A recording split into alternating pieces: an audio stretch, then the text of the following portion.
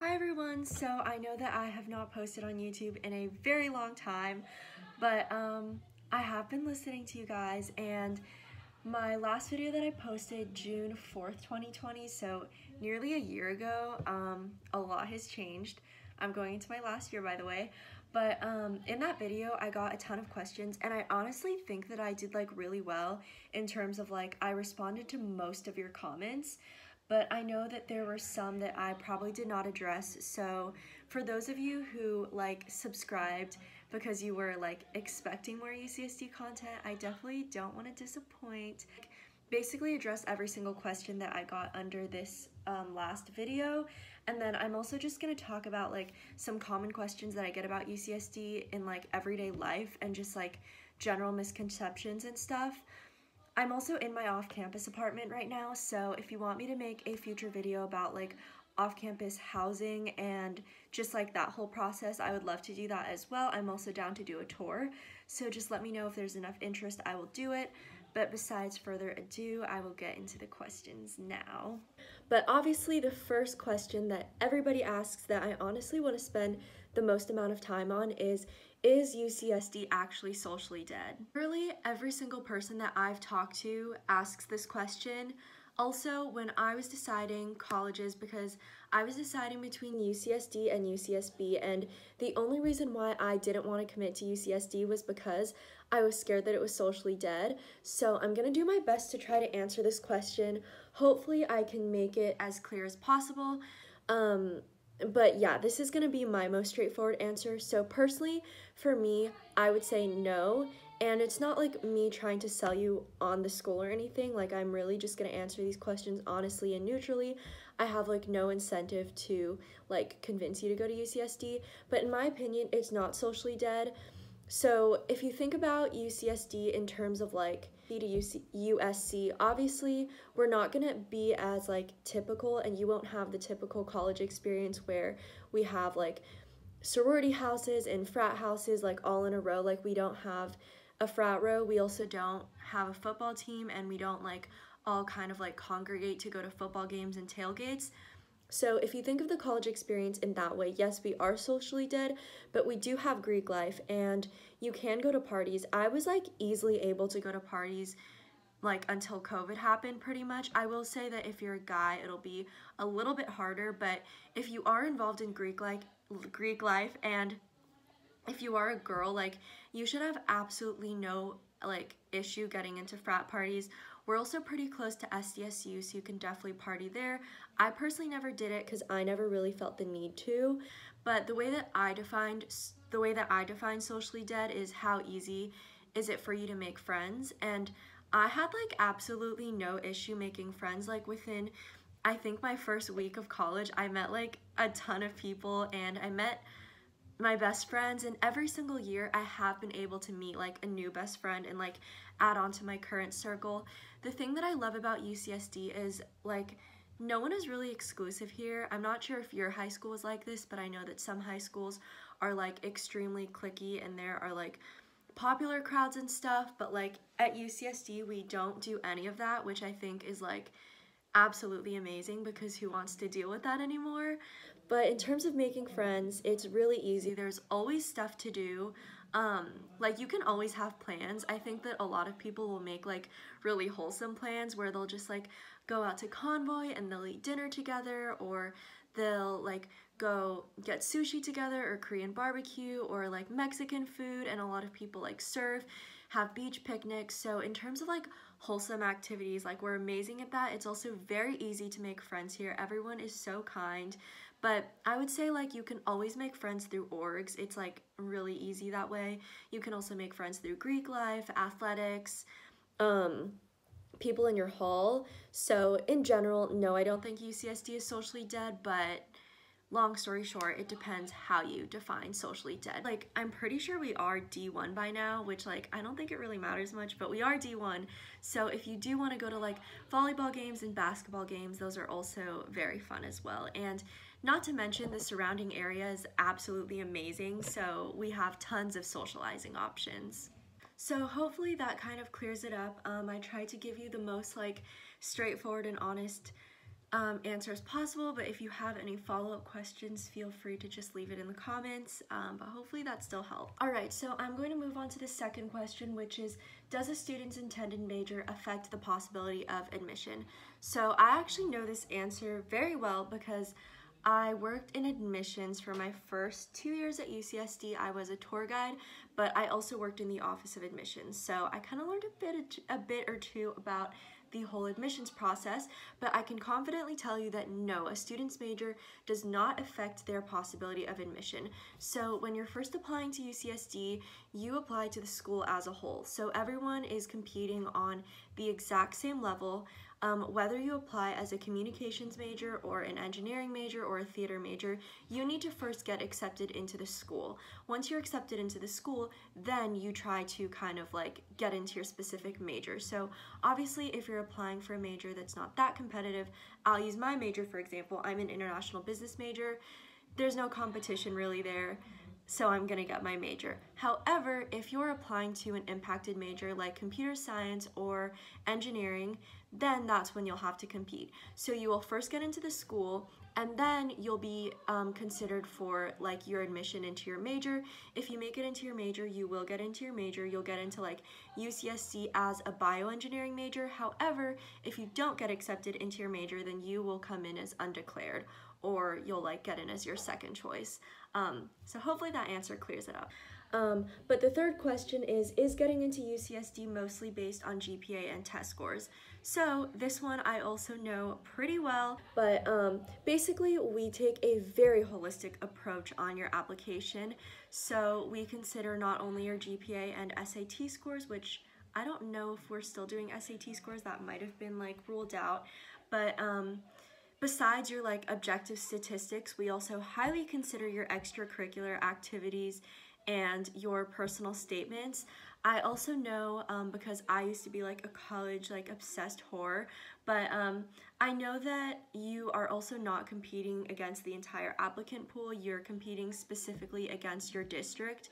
So if like you don't go to like a super good school and like the average SAT score in your area is like a little bit on the lower end, then you don't really need to worry about like getting like a 15 20 because you're not competing against like people from like like other districts like you're mostly just competing against your own district which in my opinion I think is the most you know just way to do it because everyone grows up with different resources and you shouldn't be penalized for you know like not having access to like SAT courses or tutoring or stuff like that.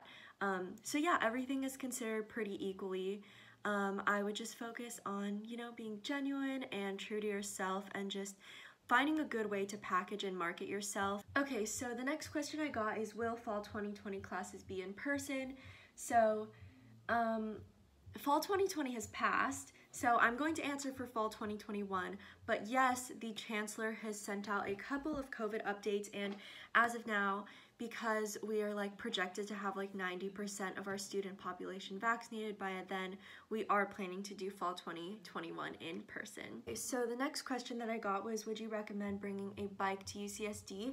So um, I personally don't have a bike. I had I did use a bike for a little bit of my freshman year. I also bought like an electric scooter that I used for freshman year as well.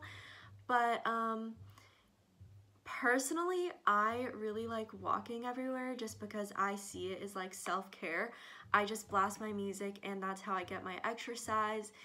Um, I like really like walking on campus just because like as someone who finds it really difficult to like motiv motivate myself to go to the gym and like take time out of my day to do that, like it gives me a lot of satisfaction knowing that I hit like at least 10,000 steps every day because like I would like without a doubt you will get above 5,000 but it's more likely that you'll hit about 10,000 so in my opinion like I don't think a bike is necessary but if you really value time and efficiency then I would definitely say bring a bike because it takes like 20 minutes to get from Morton to Revelle. They're like the two most opposite points. Whereas if you bring a bike, it'll take you like five to seven minutes. So um, it just depends what you value. Oh, my next question is, do you feel that it's a very STEM focused school and how does it affect you being a social science major? So like the socially dead question, I'm not gonna lie, UCSD definitely being a STEM school was another one of the reasons why I didn't commit very fast. I was like a little hesitant and doubtful that this school is a good fit for me just because I am the least STEM person ever. I failed out of the calc series. I like literally like cannot do STEM, trust me. So I was extremely scared, but I actually love being a social science major in a STEM school. I think that it makes me like very unique and special. I feel like you get to stand out more um, as a non-STEM major and I think that because I don't have to spend so much time in classes, I literally have so much time to do other things. I worked two jobs throughout my first two years and this year I worked three jobs and I like absolutely love it and people aren't like really super stuck up about the fact that you're like not a STEM major. They honestly like don't even care that much. But um I like despite it being STEM focused, there's definitely not a shortage of social science opportunities. There are a ton of internships and if anything, there's less competition to get them because there's less social science majors. And honestly, I feel like if I went to like a normal social science school, I wouldn't have like as many opportunities because there's just like less competition here. Also, like I didn't have trouble getting internships. I have an upcoming internship for the summer and it's a pretty good one. So um, I definitely yeah, don't don't worry about it at all. So I see that I'm getting a lot of like business major questions. My next question is job opportunities slash internships and resources on campus for international business majors. So as for job opportunities and internships there, it's definitely you need to take your own initiative to find them. We do have like a job resource center and we do have job fairs. We also have Handshake, which is an online kind of like job seeking platform that I've thought to be very helpful, especially for on campus jobs. But in terms of finding like summer internships and like full time careers after college, that's very much up to you. But I think because UCSD overall has a really strong reputation, there is probably a good chance that you'll get interviews. So definitely like you're in a good situation in terms of job opportunities slash internships. I've also had like marketing internships on campus like through the school. So there are a lot of um, on campus relevant experiences that can boost your resume. Um, in terms of resources, we have the Rady School of Management, which has amazing orgs. I just joined PBL, which stands for Phi Beta Lambda, and they're like an undergraduate organization that's sort of like a business fraternity, but not really and I found that to be extremely helpful in terms of professional development and networking.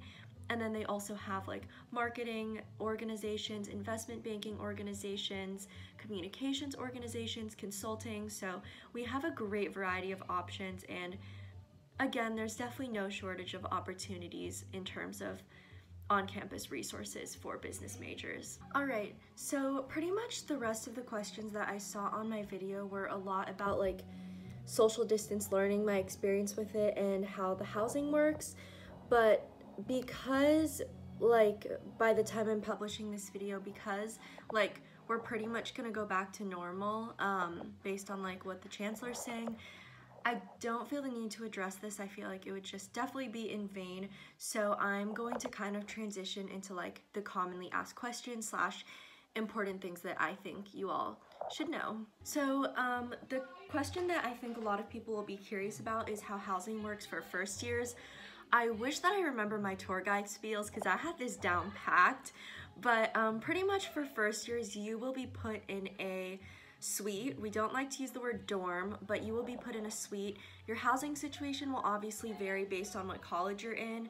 Um, the architecture is different, how many people are allowed in your suite will differ, but how that works is you will basically fill out like a survey with all of your interests and you'll be put with random people unless you like meet people through Facebook, you can put in a request there, but I personally don't think random is so bad.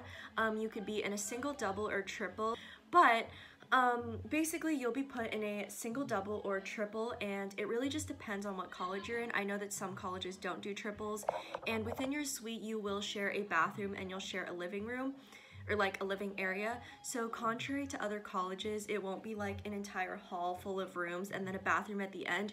You will be in like your own little mini house and you will get your own living space and a bathroom You'll also get a dining plan in conjunction to that. Um, there are a couple different like little levels. I personally got like the $3,500 dining plan my first year, and, but it was definitely enough and I had enough rollover food, or I had actually like a $1,000 worth of dining dollars over for the next year. Um, our food selection on campus is very good in my opinion. Some people fight me on that, but I personally really like the food on campus, especially because we have a ton of new dining halls. Um, our sixth college and seventh college is absolutely beautiful, by the way, and I heard the food is amazing there. I'm gonna be pretty pellucid though and just admit it, our food is extremely overpriced. So, like, when you are able to get off campus, definitely try to get your own like groceries. But in general, I think the food is very good. We have vegan options, places where you could build your own pizza, and there are like Mexican places and the soup, sorry, I'm like getting distracted because someone's texting me. And like the markets pretty much have like whatever you could possibly need. Um, so there are like just a lot of great options for food. We have vegetarian options everywhere and there are a decent amount of very good dining halls. And um, yeah I really liked living on campus. So another question that I want to address is how like easy it is switching majors. I got this question a lot when I was like working in the admissions office and like the difference between oh my god I think my like nose piercing is falling out. But like I got a lot of questions about the difference between like capped and uncapped majors. So in terms of changing your majors and adding minors it's so easy.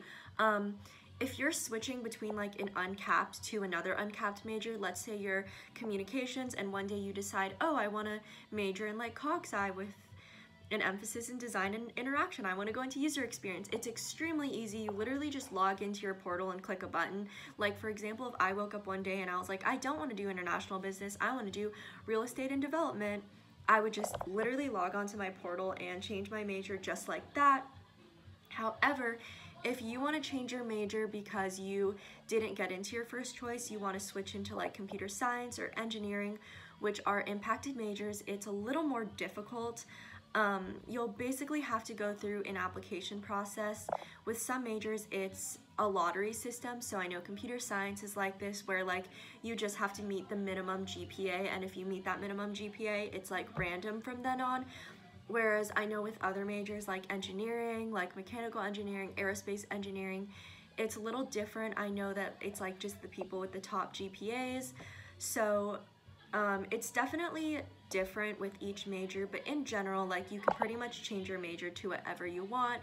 But if you are trying to switch into like a capped major, I would say you probably have to work a little harder in your like qualifying classes. Alright, so before this video gets too long, I'm going to answer two more questions. So I think that another question that I usually get is how I manage my time with like extracurriculars and classes and you know just like being a normal human. So for my first two years, I would say that I worked about like 25 hours a week. I had two campus jobs. I was a like campus ambassador or tour guide and then I also worked at one of the dining halls. Some people in my like uh, video actually asked me if I worked at Goodies and I was like yes but I'm extremely embarrassed about that because I always looked terrible during Goodies, my Goodies shifts. I was always a mess because it was so busy and I had to wear hairnet. Yeah, so I worked two jobs and I honestly like was so focused on my two jobs that I didn't really join any extracurriculars to be honest.